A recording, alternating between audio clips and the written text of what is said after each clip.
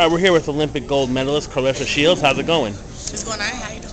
Pretty good. So how does it feel? Does it, has it all sunk in yet? Um, it's sinking a little bit more every day. I mean, like, it's a huge, it's a great accomplishment. I mean, like, and it's huge, but I just feel like uh, I'm not done yet, so I don't really be celebrating. Never can settle. So talk about that moment when you realized you won Olympic gold. What was going through your head? You know, I don't remember what I was thinking. I just know, like, all right, I won.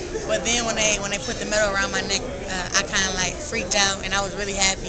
It's one of those moments that uh, you never think is gonna happen. Like you always want it to happen, but when it does happen, it's kind of unbelievable.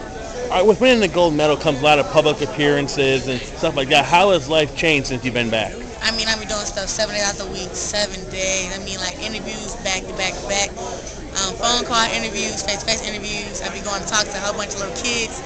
It's um, I've been doing a lot of stuff.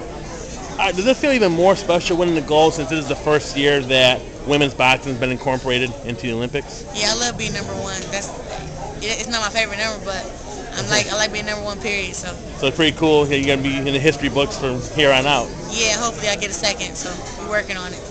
All right, you're only 17. How are you handling school and everything? Cause you're still a teenager. Well, it's been a summer, so that's something good about it.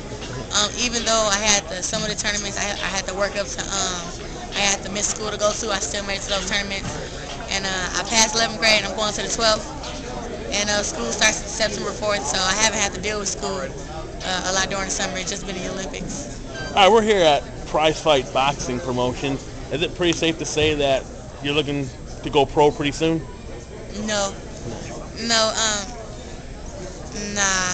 Pro is a, uh, uh, it's all right, but um, I'm only 17. You know, I got a long time, and I think I'd be way better than what I am right now when I'm uh, when I'm 21. And then I have two gold medals, so that'd be way better for me, way better. So you're working for the next Olympics already? That's your next goal you're setting? I'm thinking on we kind of balance the things out. I don't know yet. I don't know.